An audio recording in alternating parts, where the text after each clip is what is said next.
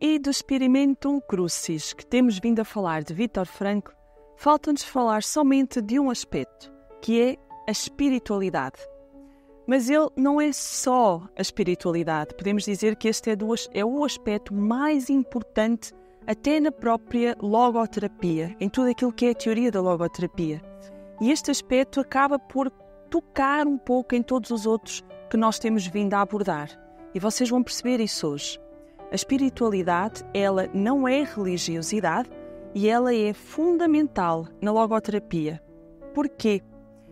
No momento em que Viktor Frankl uh, dá asos e cria, inicia esta vertente da psicologia, que é a terceira escola de Viena, uh, não existia nenhuma outra vertente da psicologia que desse ênfase à, à espiritualidade. E, portanto, Frankl é pioneiro neste aspecto, onde ele vê a pessoa como um ser bio-psico-espiritual. Ele vê a pessoa com um corpo, com uma mente e com uma alma, com o um espírito. E isto sim faz toda a diferença. Então, o que é que é espiritualidade em logoterapia? Quando falamos nesta palavra, nós podemos falar de muitos aspectos dentro da própria logoterapia.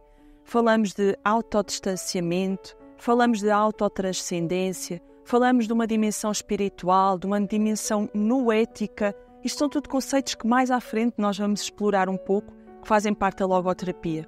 Mas espiritualidade também é intuição, uh, é criatividade, é imaginação, é sensibilidade, é tudo, é tudo isto, não é? Espiritualidade é um, é um leque muito abrangente.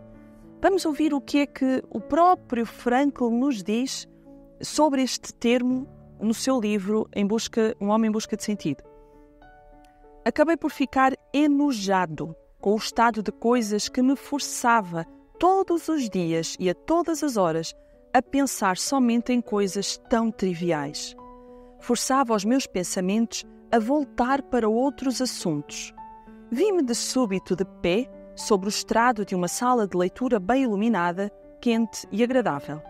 Diante de mim estava um auditório de pessoas atentas, sentadas em confortáveis cadeiras alcochoadas.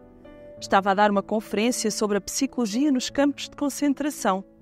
Tudo quanto me oprimia tornou-se naquele momento algo objetivo, visto e descrito do ponto de vista distanciado da ciência.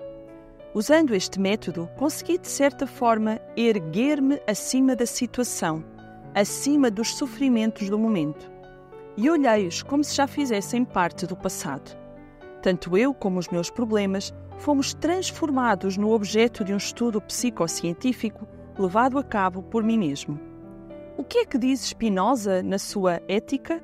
A emoção que constitui sofrimento deixa de ser sofrimento logo que formamos uma ideia clara e distinta a seu respeito.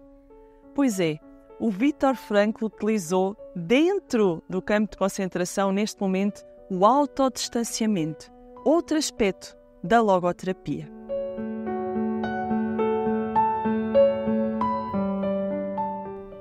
E foi o autodistanciamento que o ajudou exatamente a afastar-se daquela situação e interessante que ele já se projetou no futuro, não é? Portanto, o Viktor Frankl, naquele momento onde ele estava, ele imaginou sair, já depois de sair do campo de concentração, coisa que naquele momento ele não fazia a mínima ideia se isto ia acontecer e se ele iria sair vivo e quando é que iria sair, mas ele fez este movimento de se colocar no, no futuro, trazer esta esperança, a imaginar-se a utilizar a própria experiência do campo de concentração.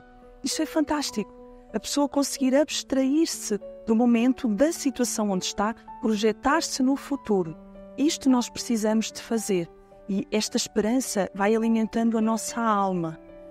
Nós conseguimos ver isto também nos momentos dolorosos que nós vivemos, momentos incertos, não é? Onde nós não temos muita, não temos certeza às vezes de nada. E quando nós colocamos, ou melhor, se nós pensarmos, nós católicos, que colocamos dentro da espiritualidade também colocamos a religiosidade e colocamos a nossa fé em Deus, nós podemos dar sentido maior a todas as situações que vivemos. Então, aquela situação que nós podemos dizer que é das mais dolorosas que o ser humano vive, que é a perda de um ente querido, de uma pessoa muito próxima e muito amada por nós, muitas das vezes só quem tem fé em Deus consegue dar este sentido último, este sentido maior. E por vezes a única coisa que consola o coração, o nosso coração, é saber que um dia vamos nos encontrar no céu. Então, esta projeção de um futuro com aquela pessoa que ainda podemos vir a viver algum dia, se assim o acreditarmos. Então, Frankl diz ainda outra coisa.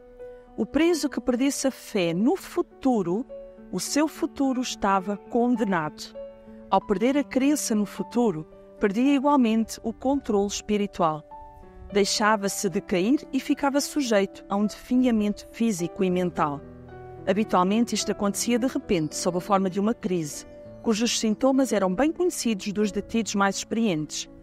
Todos temíamos esse momento, não por nós mesmos, o que teria sido inútil, mas pelos nossos amigos.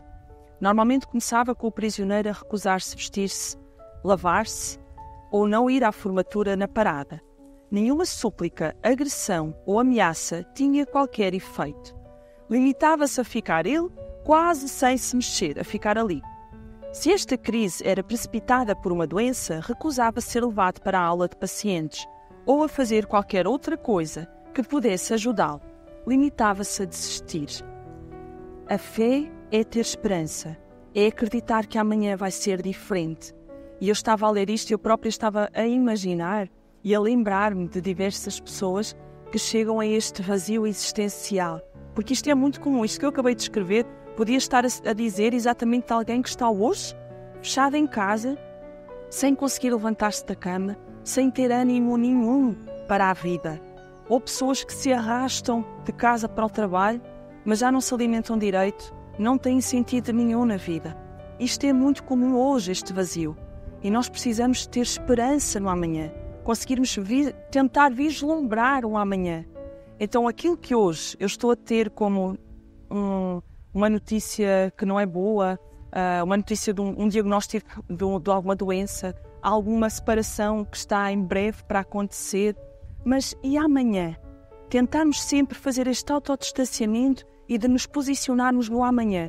O amanhã o sol vai brilhar novamente, todos os dias ele brilha, só nos dias nublados. Mas o verão vem, como nós estamos a ver hoje, no dia tão bom que nós estamos a ter aqui com este sol. Significa que hoje eu posso não estar bem, mas eu tenho que pensar e ter a minha mente é no amanhã. Vai sempre haver alguém que vai passar no meu caminho e me vai ajudar, vai sempre haver alguma solução, vai sempre acontecer algo de bom no amanhã. E não podemos perder essa esperança. Isto é espiritualidade. Até ao próximo programa, se Deus quiser.